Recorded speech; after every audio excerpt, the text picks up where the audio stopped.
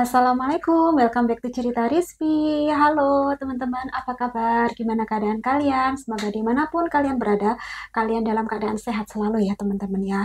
Nah teman-teman hari ini tadi nenek masak namanya tuh ciorba devita. Ciorba apa sih? Ciorba de perișoare.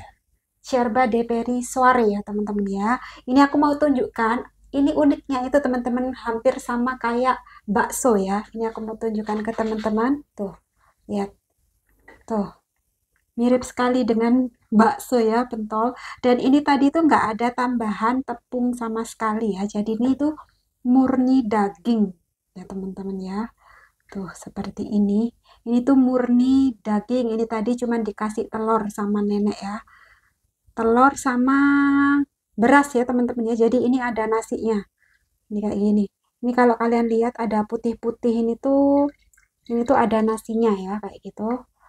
Ini aku penasaran sekali rasanya. Kalau aromanya sih nggak seperti bakso ya, cuman bentuknya ini benar-benar mirip sama pentol. Oke, kita langsung aja makan siorba apa sayang? Lupa lagi. Ciorba de perișoare. Ya, ciorba de pesoare ya, kayak gitu ya. Ini aku sudah ambil tadi sama Mas Stefan. Kita sangat lapar sekali. Tuh, ini aku mau cobain. Pentolnya orang Romania seperti ini. Dan nanti kita makan juga mau pakai ini ya, teman-teman. Pickle lombok biar ada pedes-pedesnya. Oke, langsung aja kita makan ya. Oke, teman-teman, ayo langsung aja kita incipin ya ciorba de pesoare. Ciorba de perisoare ya teman-teman ya. Aduh salah terus. Susah banget soalnya bahasa Romania teman-teman ya. Tuh. Oh ya Hmm, pakai cabai. Pertama.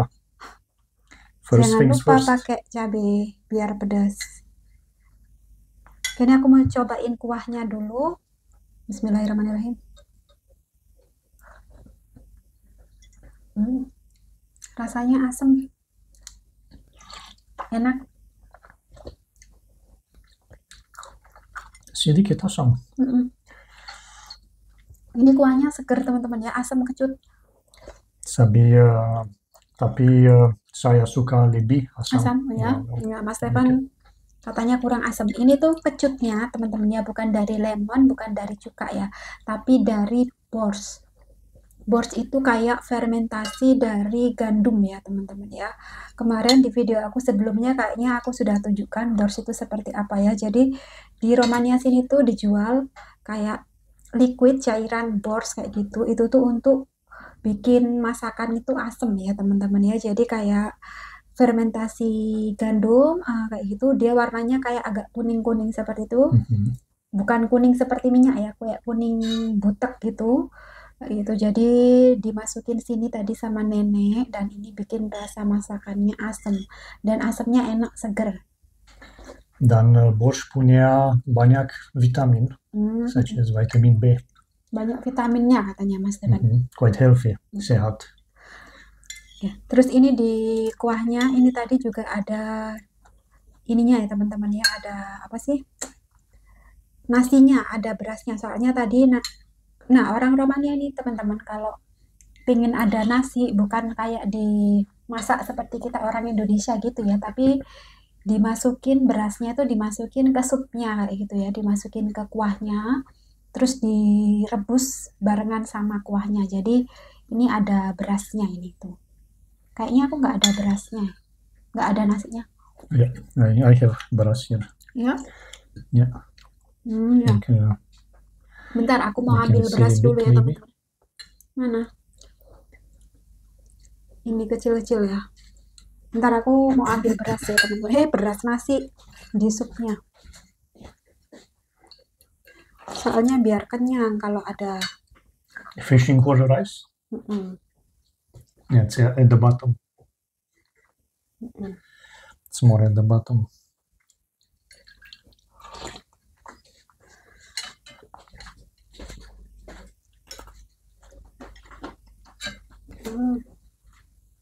Oke, ini aku udah ambil nasi. Jadi nasinya kayak, tapi dia nggak jadi bubur ya, teman-teman. Nasinya tetap bentuk nasi kayak gitu. You have to try the pentol, baby. Mhm. Romanian pentol. Pentol Romania. Mau cobain ya teman-teman ya. The perishwari, because this is called perishwari. Oh ya, ini namanya kalau di Indonesia pentol, kalau di sini peri soare. Yeah. Kita cobain ya. Hmm. Ini kayak gini teman-teman.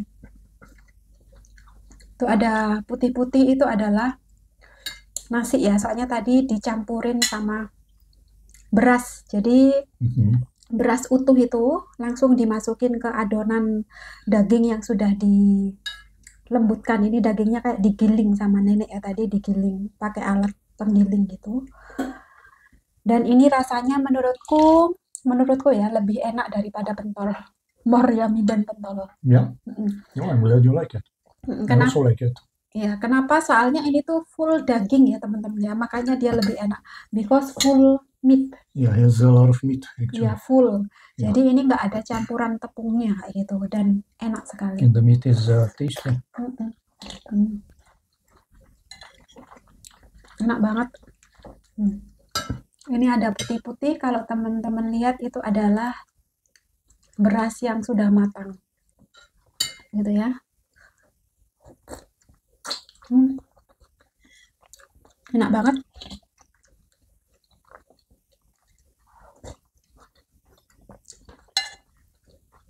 Coba kalau pakai pickle ya teman-teman ya. Hmm. Lombok pedas. Mm-mm. Mantap. Aku suka sama bors ini. Bors peri soare. Mhm.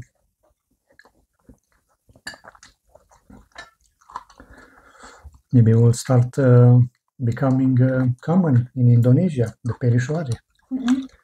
Enak teman-teman beneran uh, ini. some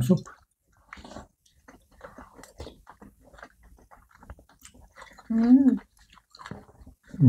Mantap. good. Aku suka banget ini kayak pentol ini.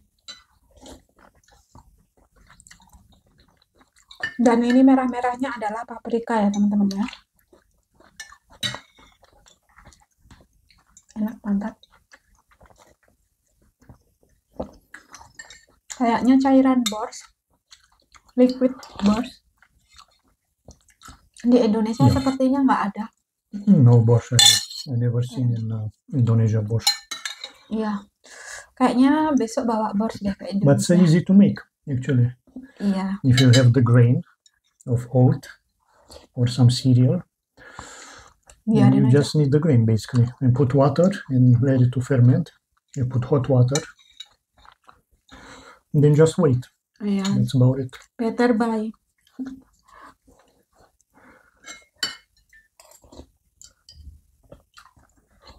Hmm.